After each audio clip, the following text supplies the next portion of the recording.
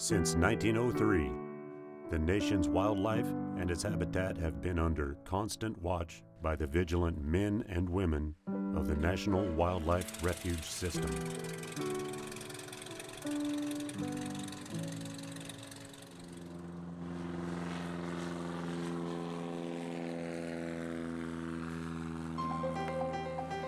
Each year, 47 million visitors flock to these wildlands encompassing over 150 million acres.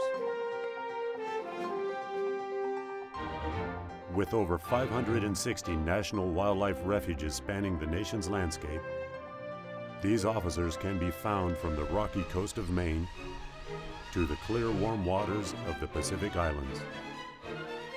From the unspoiled ranges of Alaska to the tropics of the Caribbean.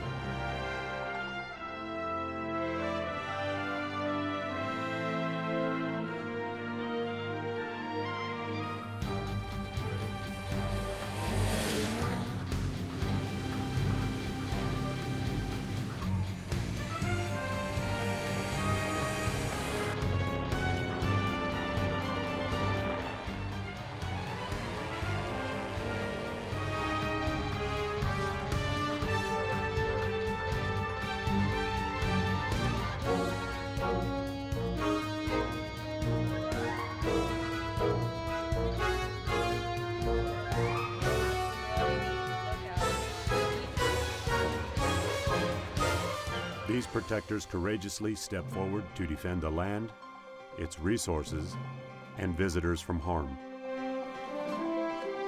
These protectors are federal wildlife officers.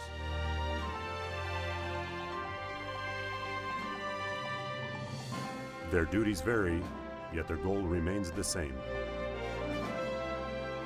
Protection,